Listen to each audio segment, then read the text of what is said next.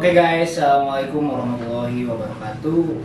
Kembali lagi bersama gua di sini Kiki Heruman dalam channel Hasuna Distro, channel kesayangannya mertua. Mertua siapa? Mertua kalian semua. Oke, jadi pada kesempatan kali ini kita akan coba mereview salah satu produk dari RX Series Shop yang berhubungan dengan RX King. So, buat kalian yang penasaran, yuk kita saksikan aja videonya sebagai berikut. Oke guys, jadi ini penampakannya untuk barang yang akan kita review ini ada dua varian. Ini namanya box aki RX King dari Mika ataupun akrilik. Ini bahannya sangat kuat sekali guys. Worth it sekali buat kalian pengguna RX King dan pengguna stylish Biankerok ataupun Bandung Style ini sangat worth it sekali untuk digunakan. Ini adalah box aki King yang tebalnya 3 mm ya. Jadi 3 mm ini untuk per variasi ataupun untuk yang versi transparan. Kemudian kita ada lagi ini untuk e, versi black. Yang versi black ini tebalnya itu agak lumayan tipis dari yang tadi. Dari yang transparan ini tebalnya itu cuma 2, mili tapi ini udah aman sekali. Untuk sementara ini sih dari customer kita belum ada yang komplain gitu ya. Jadi ini worth it juga. Ini terserah selera kalian aja mau yang transparan atau yang hitam dua-duanya sangat bagus sekali. And then untuk setiap pembelian barang ini kita ada free yaitu sabuk.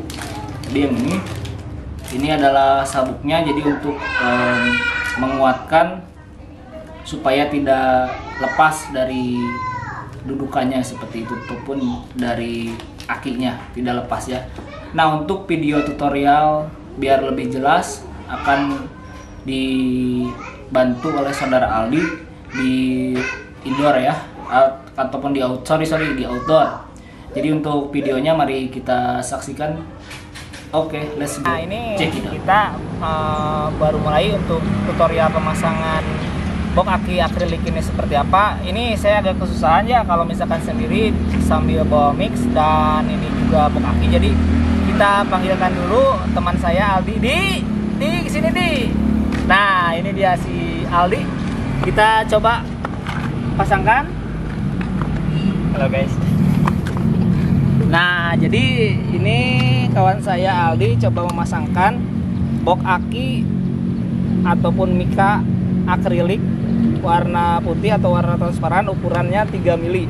Jadi mudah aja ya tinggal diangkat saja karetnya. Ini kita pre karet ya untuk setiap pembelian. Linknya ada di deskripsi. Kita pre karet. Nah tinggal dimasukkan aja ke dalam aki ya seperti itu aja udah gampang. Terus untuk soket uh, kabelnya udah ada kan? Soket kabelnya tinggal masukin aja. Nah seperti itu masukin saja ke sana dirapihkan dan dimasukkan langsung nggak mudah. PNP sekali.